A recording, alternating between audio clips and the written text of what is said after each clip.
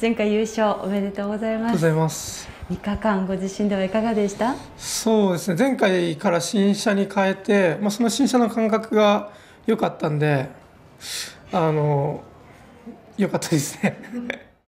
そしてここまでは間は練習などはいかがですか？はい、結構空いたんで、まあしっかり練習できました。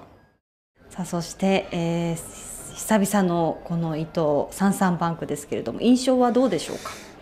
そうですね。まあ卒機で初めて走ってから、まあいい印象ではあるんで、頑張りたいです。近況ご自身でレースはいかがですか？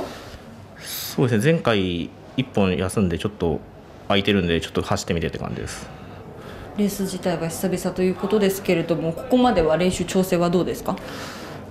そうですね練習はちゃんとしてきましたレース内容というのはこう近況ご自身でこう意識しているところポイントというところは何かありますか？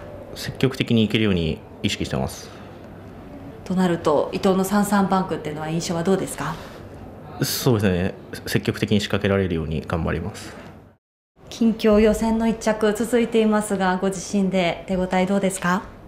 そうですね。あんまり調子がいいとは言えないんですけど成績はすごくいいですねさあそして、えー今回まで間は練習などはいかがですか？えーっとそうですね。ちょっとずっとあの競争詰まってたりしてあんまり練習はできてないんですけども調子はあんまり悪くはないと思います。